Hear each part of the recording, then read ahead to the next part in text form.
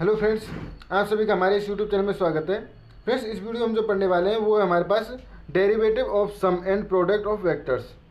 यानी derivative of sum होंगे अगर वेक्टर्स का, या फिर प्रोडक्ट होगा तो उस कंडीशन में हम उसका डेरिवेटिव कैसे निकालेंगे? तो उसमें फ़र्स्ट हमारे पास derivative of sum of products यानी अगर हमारे sorry derivative of sum of vectors यानी दो वेक्टर्स हैं, और उनका सम हमारे पास है तो उस कंडीशन में उसका डेरिवेटिव कैसे निकालना है? तो उसको लेते हैं लेट आर वेक्टर बराबर A plus B where A and B वो था derivative differential function of scalar vector T यानी कि जो ए और बी फ़ंक्शन है वो इस डिफरेंशियल फ़ंक्शन है स्केलर वेक्टर टी के sorry scalar value scalar variable scalar scalar value बोल सकते हैं स्के, स्केलर वेरिएबल जो इसके जो फ़ंक्शन है वो टी के डिफरेंशियल फ़ंक्शन है ए और B now R vector plus del R vector इसको क्या लिख सकते हैं A plus del A and B plus del B तो यहाँ से डेल आर वेक्टर निकाल सकते हैं, क्योंकि R vector plus del R vector minus R vector करेंगे तो हमारे पास ये आ जाएगा, del A plus del B. अब फ्रेंड्स, वहाँ पे हमने डी डी टी का डिवाइड किया तो दोनों तरफ़ से तो del R upon del T बराबर D, del upon del T plus del B upon del T. Now let del T tends to zero अगर del T tends to zero लेंगे तो D R upon D T बराबर limit del T tends to zero D R upon D T equal to limit del T tends to zero del A upon del T plus del B upon del T. तो ये हो गया D R upon D T बराबर del A upon del T plus del B upon del T in general में अगर देखें del upon del T अगर A one A two plus dot dot dot A है ना तो D A one upon D T D A two upon D T plus D A N upon D T हो जाएगा। Where A one A two and A N are vector of scalar variable T उसके बाद हम पढ़ते हैं friends second है अपने पास, वो है derivative of the product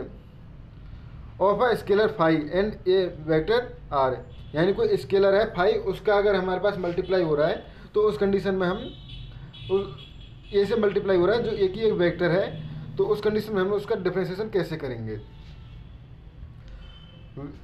तो उसके लिए लेट आर बराबर five A where five five जो है, स्केलर है, scalar five and vector A वो are differentiable function of scalar variable T यानी दोनों फ़ंक्शन जो हैं, वो स्केलर वेरिएबल जो टी है, उसके डिफरेंशिएबल फ़ंक्शन है। So R plus del R यानी कि हम, हमारे पास आर को हम डेल आर चेंज करते हैं आर में तो वो हो जाएगा five plus del five and A plus del A अब यहाँ से हमें डेल आर की वैल्यू क्या जाएगी? डेल सॉरी हाँ डेल आर की वैल्यू हो जाएगी five del A plus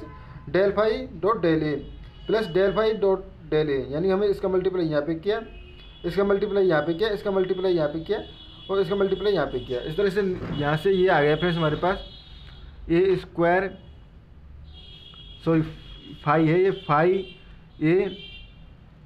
plus अब ए का यहाँ से किया तो ये तो इससे हो गया, इसके बाद फाइव डेल ए प्लस अब इसका क्या तो ये हो गया del five A plus del five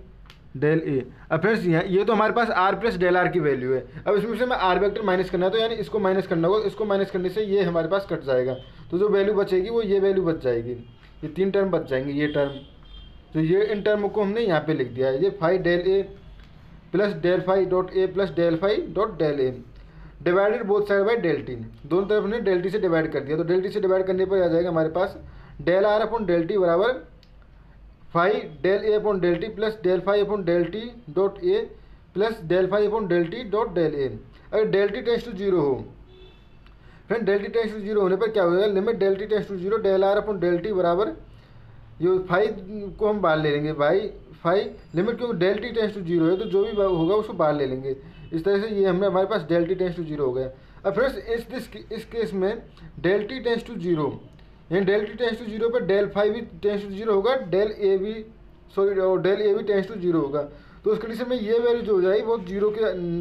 पास पहुँच जाएगी। तो उसका कंडीशन में इस टर्म को हम हटा देंगे। तो हमारे पास जो डेरिवेटिव आ जाएगा, वो आ जाएगा simply D R vector upon D T बराबर A D five upon D T plus D five upon D T dot A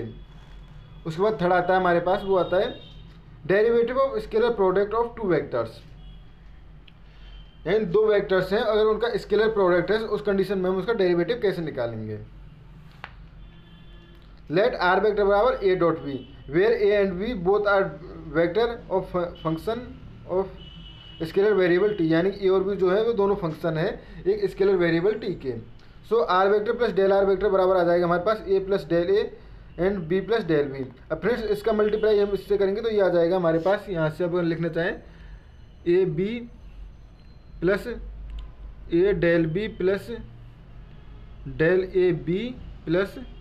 del A dot del B. इस तरह से ये आ जाएगा फ्रेंड्स हमारे पास। तो अब इसमें से हमने R vector plus del R vector में से आर वेक्टर माइनस करेंगे तो हमारे पास डेल आर वेक्टर आ जाएगा। तो डेल आर वेक्टर यानी कि ए बी, इसमें से हमें इसमें से आर वेक्टर माइनस करना है। तो इस इस वैल्यू में से ये वैल्यू माइनस करनी होगी तो ये माइनस करने पे ये दोनों कट जाएँगे और ये वैल्यू बच जाएगी। ये वैल्यू जो कि हमने यहाँ पुट की है फ्रेंड्स तो del R vector upon del T बराबर आ गए A del B upon del T plus del A upon del T dot B plus del A upon del T और डेल बी। अब friends, del A upon del T और del B upon del T, ये तो क्योंकि T tends to zero है तो दोनों value tense to zero होंगी। तो उस कंडीशन हम कहेंगे कि ये जो वैल्यू होगी इसको हम ज़ीरो के इक्वल मान सकते हैं। इसको ज़ीरो के इक्वल मानने पे हमारे पास limit del T tends to zero A del B upon del T ये पार्शियल ये हमारे पास ऑर्डनरी में चेंज हो जाएगा तो ये हो जाएगा D R vector upon D T बराबर A D B upon D T plus del A upon del T dot B अब फिर क्वेश्चन फाइव फोर आता है. Derivative of the cross product of two vectors यानी अगर two vectors में cross product है, उस कंडीशन में उसका डेरिवेटिव कैसे निकालेंगे?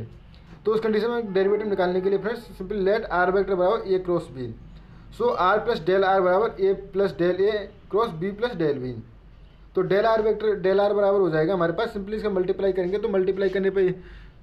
A cross B plus del sorry A cross, पहले इसका ही करेंगे, डेल बी प्लस फिर इसका करेंगे, del A cross B plus del A cross del B. ये आ जाएगा हमारे पास। अब इसमें से ये आर प्लस डेल आर की वैल्यू है। अब इसमें से हमें आर वेक्टर माइनस करना है। तो माइनस करने पे हमारे पास डेल आर वेक्टर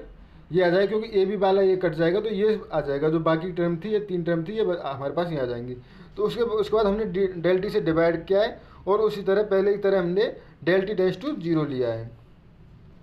यहाँ पे डेल टी से डिवाइड किया है दोनों तरफ़ और del T tends to zero लिया है हमने।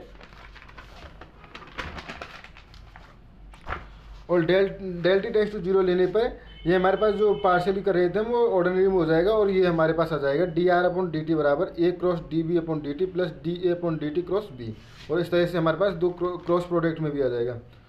उसके बाद हमारे पास क्वेश्चन ये फाइव है हमारे पास। Derivative of the scalar product of three vectors यानी कोई हमारे पास तीन वेक्टर है उनका स्केलर प्रोडक्ट होगा। तो फ्रेंड्स इसको हम सिंपली इस तरह से कर लेंगे कि पहले इस, क्या क्या हमने पहले इसको इसको मान लेंगे। कि इसको एक वेक्टर और इसको एक वेक्टर तो दो वेक्टर जो हमने पहले पढ़े थे, उसी तरह से करके फिर हमने जो बचेगा, उसमें ये ये टर्म आएगी, फिर उस टर्म का अंदर से करना है। तो हमने यही क्या है, पहले इसको D upon D T dot B C फिर ए को छोड़ा डी और डी बी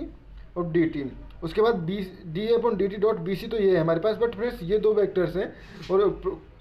इसके लिए प्रोडक्ट है इसका तो इसका जो हमारे पास जो पहले फॉर्मूला हमने पढ़ा था, उसी से D B upon D T dot C plus B D C upon D T ये आ गया और एक हमने अंडर मल्टीप्लाई किया तो ये हमारे पास तीन वेक्टर का क्रॉस प्रोडक्ट आ गया। इस तरह से फ्रेंड्स हम एन वेक्टर्स का क्रॉस प्रोडक्ट प्रोडक्ट भी हम निकाल सकते हैं। Thank you friends